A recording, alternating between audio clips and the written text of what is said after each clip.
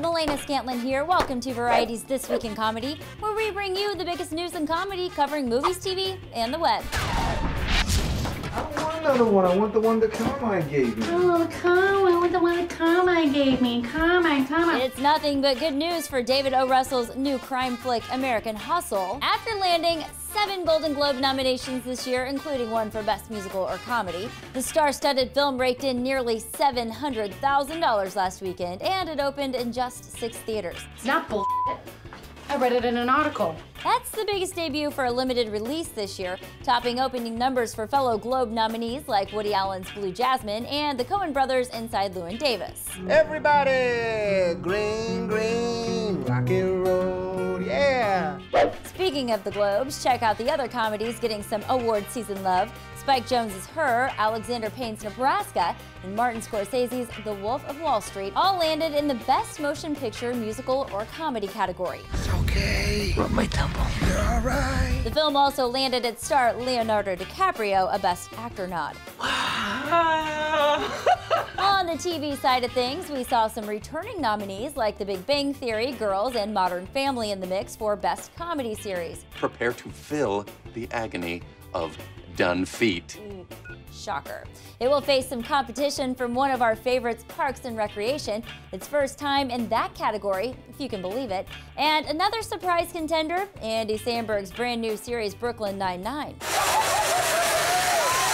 The 71st annual Golden Globes will air January 12th on NBC. Let's pound it out.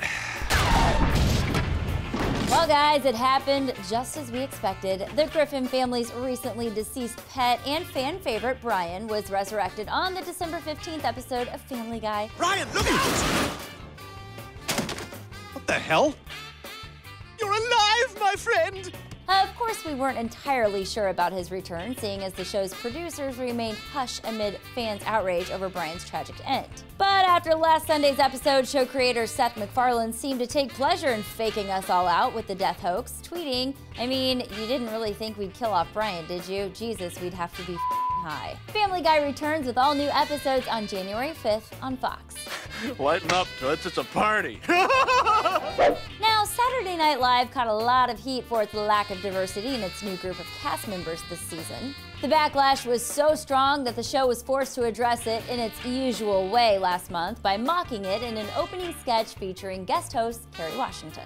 Well, in that case, I will leave, and in a few minutes, Oprah will be here. Thank you, Mrs. Obama. But now the show is facing the diversity issue in a real way, with creator Lorne Michaels telling the New York Times that they'll be adding at least one black female to the cast by January. It will be the first time the show has had a black woman on the cast since Maya Rudolph left in 2007. Michaels told The Times, We've auditioned about 25 people. We're all about talent, but you want to be sure you give people the best possible shot. Great news, Beyonce has just arrived for dinner, too. What's funny about that? I don't know. Jerry Seinfeld's life after Seinfeld has been pretty awesome, and luckily, we've had a chance to witness a small piece of it with his web series Comedians in Cars Getting Coffee. The premise? Well, pretty much Jerry and another famous comedian friend having random conversations in a car and over coffee. The result? Well, think Seinfeld unscripted. When was the last time you were this scared? doing award shows and potentially ending my career. I work for the Golden Globe Committee. And this entire thing is a ruse to get you to do the show again next year. What started out as a quote, small fun show for Jerry is now an Emmy nominated series that's about to launch its third season. The six new episodes will begin airing exclusively on Crackle.com and ComediansGettingCoffee.com next year. A new trailer teased appearances by more comedy stars. See if you can identify some of them. By the way, I don't drink coffee. I've never had a cup of coffee. So don't make it seem like I'm so out of touch. But you should be in touch. Why? Find out who's sliding into the passenger seat when season three premieres on January 2nd. Thanks for watching Variety's This Week in Comedy on Official Comedy. Be sure to click subscribe for all the must see comedy moments from the world of TV, movies, and the web.